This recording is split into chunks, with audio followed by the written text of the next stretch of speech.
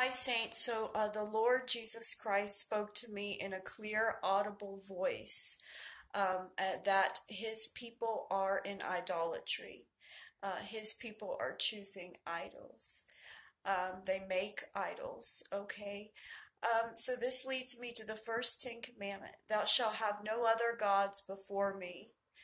Okay, and remember, um, an idol can be anything that we put before the Lord Jesus Christ um, anything that becomes our God over him. Okay, um, so there is one way to heaven, one way to the Father, and that's through the Lord Jesus Christ. Jesus said, I am the way, the truth, and the life. No man gets to the Father except but by me.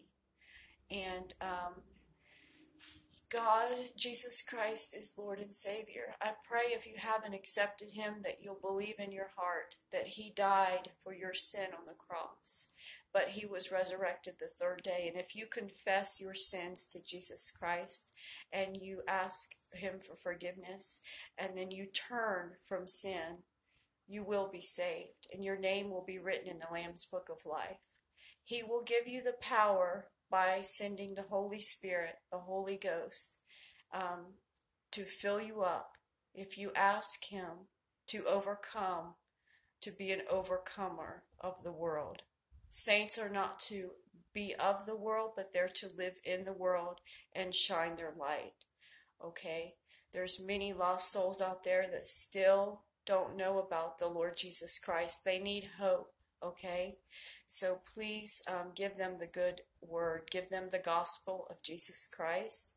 And remember, as a Christian, um, that is part of obedience. Jesus Christ is rising up his end time ar- army to harvest the lost souls, the end time uh, harvest. So um, please uh, fulfill your destiny and help harvest these lost souls and give them hope be a life changer to these folks.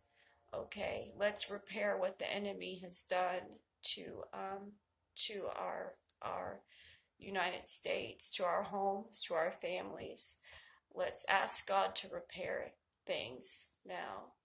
Okay, I love you and know I'm praying for you. Amen.